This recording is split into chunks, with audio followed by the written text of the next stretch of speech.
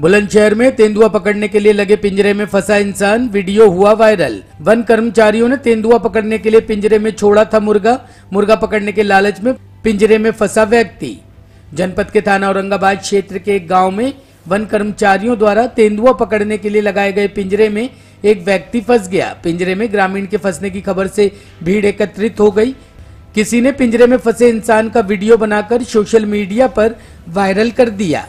औरंगाबाद थाना क्षेत्र के गाँव वसुंधरा में तेंदुआ होने की सूचना पर वन विभाग की टीम पहुँची। पगमार्क निशान पाए जाने के बाद वन विभाग ने तेंदुओं को पकड़ने के लिए पिंजरा लगा दिया।